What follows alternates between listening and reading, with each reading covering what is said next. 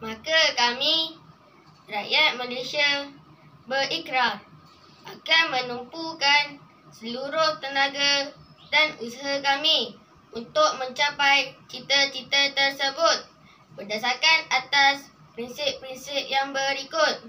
Kepercayaan kepada Tuhan, kesetiaan kepada raja dan negara, keluhuran perlembagaan, kedaulatan undang-undang, kesopanan dan kesusilaan. Up.